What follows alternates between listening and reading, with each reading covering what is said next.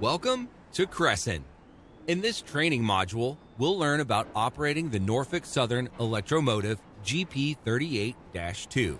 The 16 cylinder, 2,000 horsepower, 4 axle BB GP38 2 has proven successful in many roles from yard switching to mainline hauling.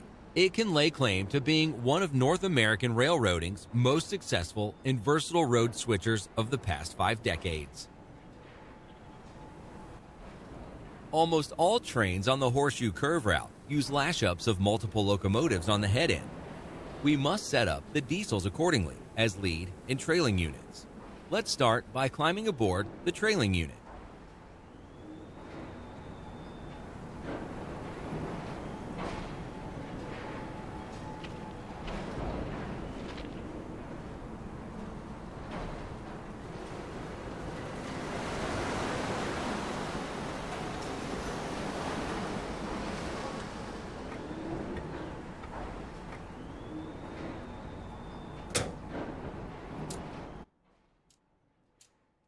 Any trailing locomotive must have its control stand disabled so that it can receive commands from the lead unit. The units must also have their brakes set to cut out and trail.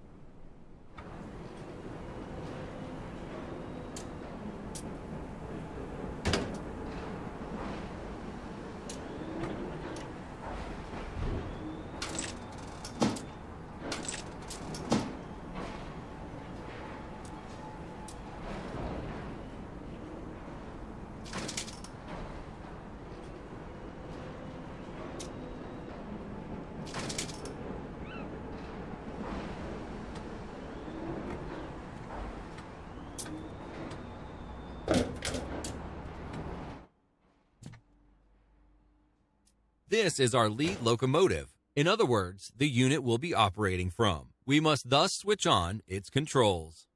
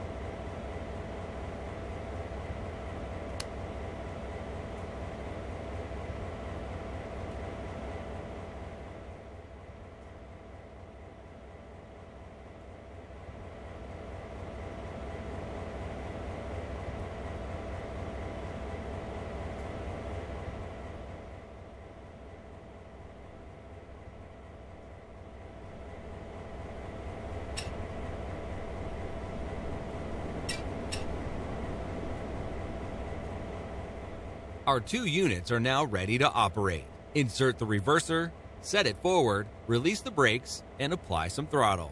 Then proceed to the destination marker and stop there.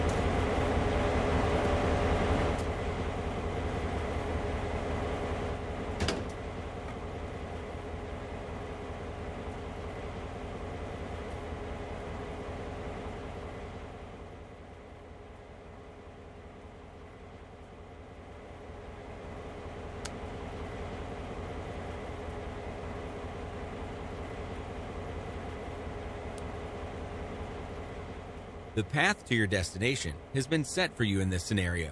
Please be aware that there are numerous manual switches on the Horseshoe Curve route, particularly in the yards and on the South Fork branch. And the engine crew must always ensure the switches ahead are aligned properly for their movements.